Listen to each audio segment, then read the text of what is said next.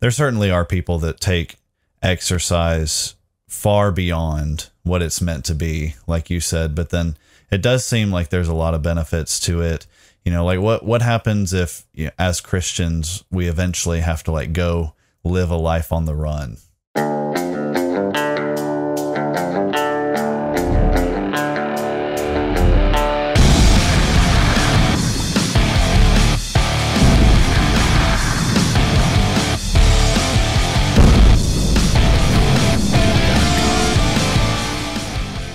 Tim, the question for today's episode is Should men exercise? Yeah, I think most people for most of my life would probably have answered this question with just an obvious kind of duh, you know, kind of, kind of response to it. So, I mean, you know, you ask a question like that should, you know, men exercise? Should people exercise in general? However, you're asking it, I think most people would just kind of think that that would probably go without saying that most people should probably exercise um, in general.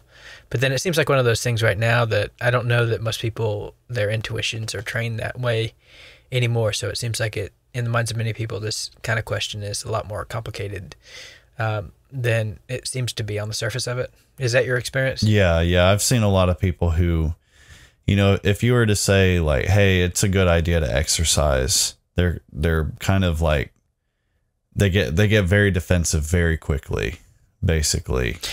Um, yeah, I mean, some of that's the body positivity stuff, like in general. I mean, but that influences women more than it influences men. But then there's a lot of men out there that just seem to respond primarily, you know, to questions like that through the language of offense, and that's kind of strange, you know. So yeah, yeah, that that's definitely kind of strange to think that men are responding to this kind of question with you know, primarily through the lens of offense. But then on the other hand, I mean, I think a lot of people have some sort of intuitive sense that they should probably try a little bit more than what they're trying, and it doesn't hurt to get in shape. And there's all you know health benefits to getting in shape and everything else to where you know decreases your risk of heart attacks and you know strokes and all that. And so I mean, I, think overwhelmingly obvious. Yeah, I mean, it would probably be a good idea for most people to at least get some sort of aerobic exercise. yeah, yeah, especially especially given how much free time most people have.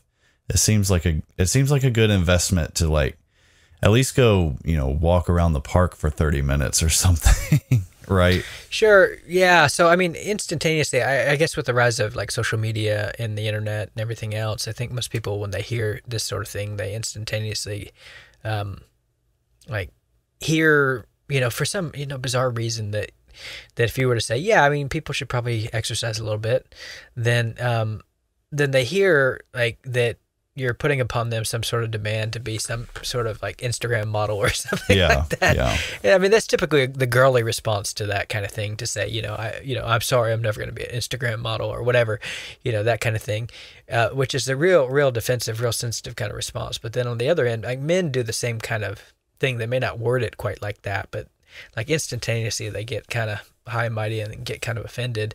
But I mean, I don't know. I mean, First Peter four eight says that while bodily training is of some value, godliness is of value in every way, as it holds promise for the present life and also the life to come. So, you know, many people are reading that kind of verse and they're reading that as if it's saying bodily training is of no value. Right. right? Yeah. Right.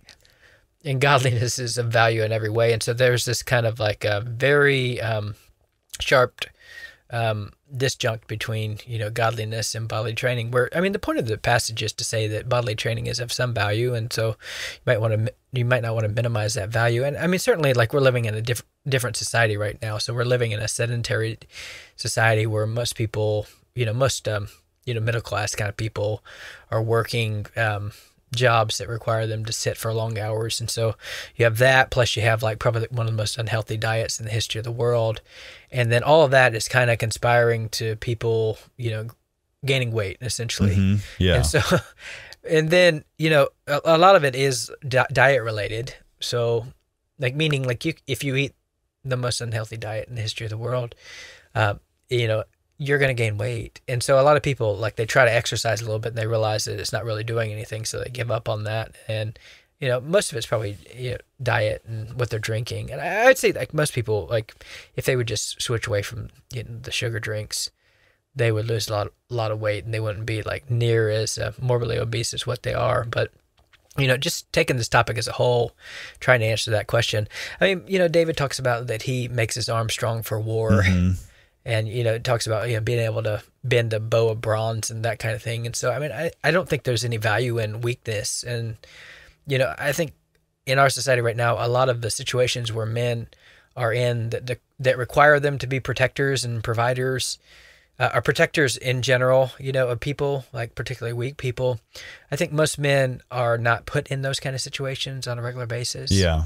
And so they're they're looking to like the government to be that for them. So if there's any kind of difficult thing that um, happens, they're instantaneously predisposed to call the police or whatever. And and but I mean, I think if you if you do keep yourself in reasonable shape, like there's something about that that puts you in a better position. Like it gives you confidence to put you in a better position that, like, if there is danger that requires some sort of physical response, then you're ready to respond, right? Right. Yeah. And so I, th- I think the standard, the standard kind of guy today, like if he encounters a situation like that, his instantaneous impulse is because he probably hasn't taken care of himself, because he doesn't have a lot, a whole lot of self confidence, because he totally let himself go in certain ways. The standard kind of impulse is to pull out your phone and, and record it or something like that, right? yeah. Yeah. Just be a bystander and you know, I mean, I and I was kind of in a situation like this, like this past week, where I saw um, a guy downtown being attacked by a pit bull. okay. I'm laughing because it was obviously a pit bull that was attacking this guy. But I mean, the guy was. We've being, done an episode on that. There's a guy being attacked by a pit bull downtown, and um, you know, I I pulled the van over and I thought I need to go help, right? And so as I was about to go get out of the van to go help, the owner of the dog kind of got him away and then drove off and then i'm pulling out my phone trying to take a picture so maybe if i would have taken like the metrosexual po- approach to not help i could have gotten like a picture of the whole yeah, thing if you had but posted it to World Star, they they might Yep. be tracking the guy down right they right might be now. tracking him now i mean but the poor guy on the other end man he got like bit by this stupid dog. Uh, but you know i i think most people they don't have some sort of impulse to go and help you know and a lot of it's because they're just man they're just they're you know those situations they don't come up often but they come up enough and you should be ready to go. And so i think you know there's a lot of reasons why exercising would be a good thing. Just taking care of yourself taking care of the body you've given god's given you he's given you.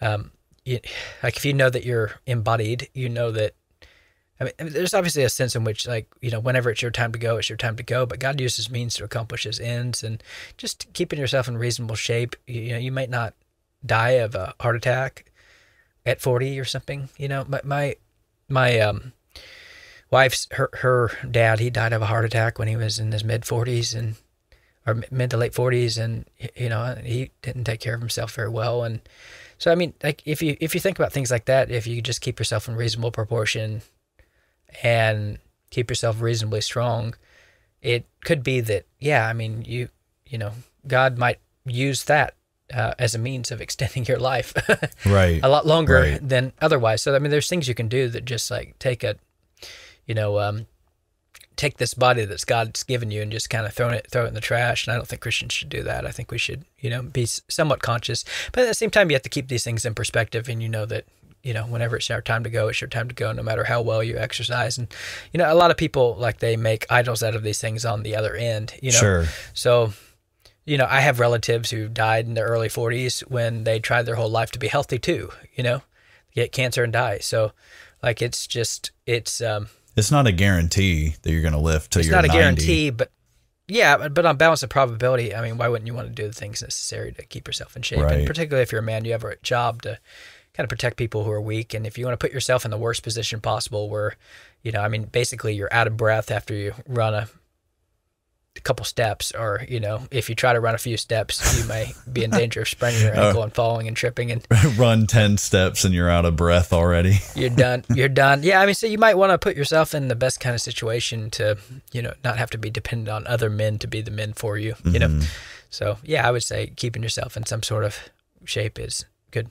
Yeah, there's def- there's definitely some wisdom there, and you know, yeah, my my grandparents were um, a similar way where they they didn't really take care of themselves. And then one of the you know one of one of the unfortunate aspects of that is um, my grandfather didn't get to live long enough to see his great grandchildren uh, because because you know they ate a really they ate a really poor diet. Uh, diet was a, a big part of it, but then they also were extremely sedentary at the same time, and so because of that, um, and, and some other stuff that was probably out of their out of uh, his control, but you know it's it, the lack of exercise, the lack of really taking care of his body, it led to you know consequences that you're not thinking about when you're 30 and when you're 20 when you're 40 um, even in your teens. And and there certainly are people that take exercise far beyond what it's meant to be like you said but then it does seem like there's a lot of benefits to it you know like what what happens if you know, as christians we eventually have to like go live a life on the run right and you and you have a family and it's like you're the you're the guy who gets winded going up a flight of stairs then you know you're you're not gonna you're probably not gonna fare too well. right. So what's funny about yeah? So uh, you know what's funny about these kind of things is that like typically people they apply the wrong part of this kind of verse to their situation. Okay. Mm-hmm. So meaning like you know, for while bodily training is of some value, godliness is of value in every way, as it holds promise to the present life and also to the life to come.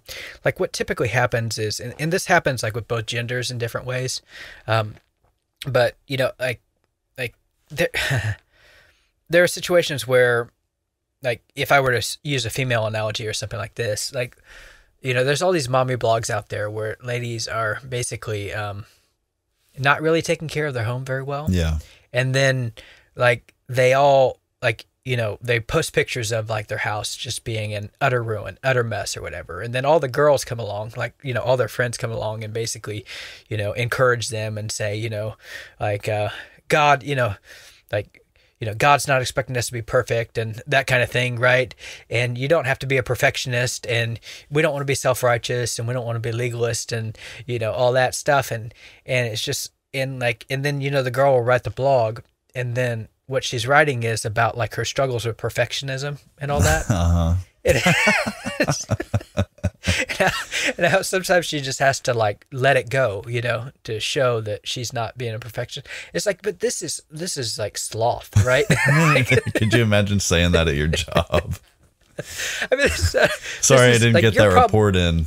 I wanted to make sure I wasn't giving in to my my tendency to perf- tendency. yeah be a perfectionist. Yeah. All right, so but like there's some ladies though who like you know I've known some ladies who like they have a list of like housework that is like you know four pages of housework uh, you know um, things they have to do every day you know including like hand scrubbing the floors with their toothbrush or something like that right?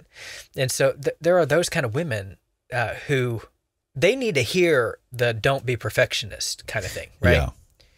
And then on the other side, like the ladies who, like, their house is a mess and they're posting pictures of it on Instagram, Instagram and all that.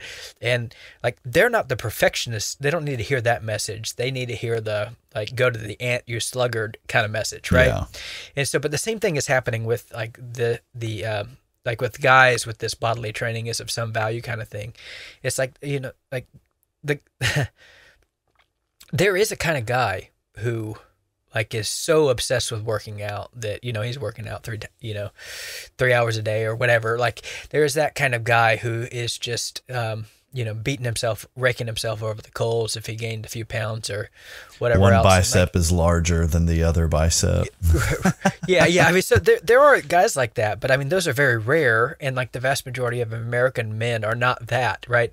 And so, like, just talking about gaining like the discipline necessary to maybe, you know, walk for twenty minutes a day or something like that. Most most men are not even like anywhere near that, having that kind of like so their problem is a lack of discipline. Their problem is not that they're pre- perfectionist right, right. and so then you don't basically like comfort yourself with the like don't be a perfectionist kind of stuff like when your problem is a lack of discipline right? So bodily dis- bodily training bodily discipline is of some value.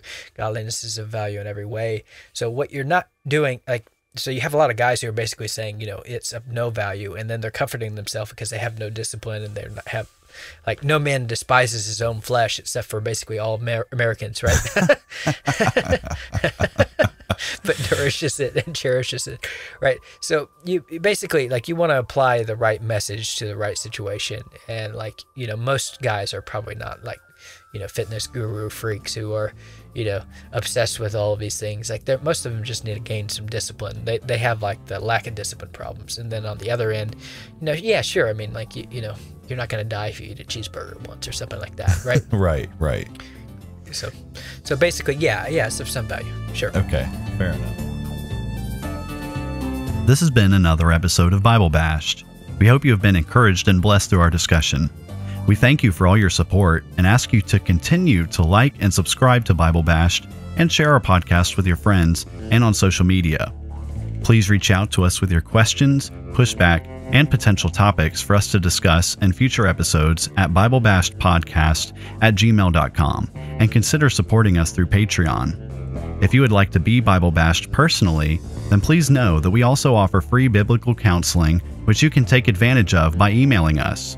Now, Go boldly and obey the truth in the midst of a biblically illiterate world who will be perpetually offended by your every move.